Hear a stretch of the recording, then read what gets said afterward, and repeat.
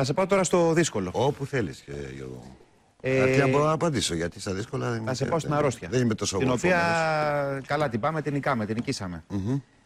Πότε πήρες χαμπάρι ότι κάτι δεν πάει καλά; Ε, το περασμένο, στις περασμένες γιορτές, τέτοιες μέρες. Ένα χρόνο πριν δηλαδή. Ένα χρόνο πριν, ναι. Πήγα ότι δεν πάει κάτι καλά και ότι θα πρέπει... Αλλά το αναιρούσα συνέχεια. Πώς το ξεκίνησε, ανέβαλα. τι πόνεγες κάπου, τι. τι... Είχα κάποια συμπτώματα με την έννοια ότι δεν μπορούσα να φάω καλά.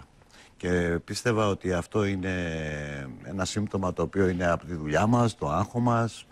Αλλά τι άγχος, ας πούμε, είχα κάνει στο θέατρο ας πούμε, μια δουλειά η οποία πήγαινε εξαιρετικά καλά και πάει ακόμα δηλαδή.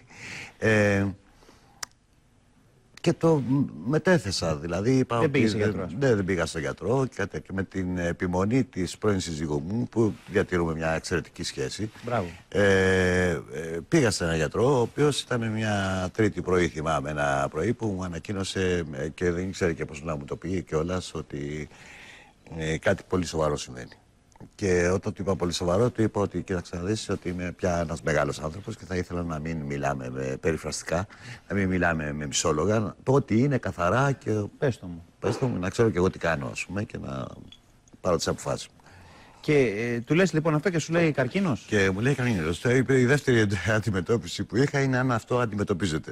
Ε, τώρα φαντάσου Γιώργο ότι κοιτάει τον κομπιούτερ, κοιτάει τι είδε, κοιτάει εμένα και μου λέει, μου απαντάει με ένα ύφος έτσι. Ναι, ναι, βέβαια. Μπορεί και να αντιμετωπίζεται.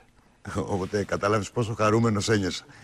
Και η πρώτη Κόπηκαν τα πατήρα πόδια ήταν σου. πήρα την πρώην γυναίκα μου. Τι- Δεν μ' αρέσει αυτό το πρωί, εν πάση περιπτώσει. Εντάξει, τη γυναίκα σου, ρε Τη παιδί μου, γυναίκα ναι. μου και πήγαμε σε ένα μπαράκι πρωί-πρωί. Χτύπησα τρία-τέσσερα ουσκάκια έτσι. ναι. Απανωτά, κάμισα ένα πακέτο τσιγάρα και είπα ε, από μέσα μου μερικά πράγματα. Δεν τα ξυμολογήθηκα σε κανέναν.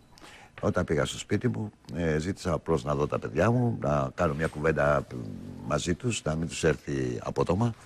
Και είπα ότι αν. ε, α, και αυτή η σκέψη μέσω πιστεύω. Η σκέψη ήταν ότι αν μέχρι εδώ ήταν, μέχρι εδώ ήταν. Δεν μπορώ να κάνω κάτι άλλο. Τη μάχη θα τη δώσω. Και την έδωσα. Και έπεσα σε καλά χέρια. Δηλαδή, να ξεχάσω ποτέ τον Δημήτρη τον Θεοδόρου, τον γιατρό που έκανε αυτή την πολύπλοκη και δύσκολη εγχείρηση, ο οποίος δεν έκανε απλώς μια εγχείρηση, αλλά με ενέπνευσε να αντισταθώ και ψυχολογικά απέναντι σε αυτή τη δύσκολη στιγμή. Του χρωστάω πάρα πολλά αυτού του ανθρώπου, ας πούμε.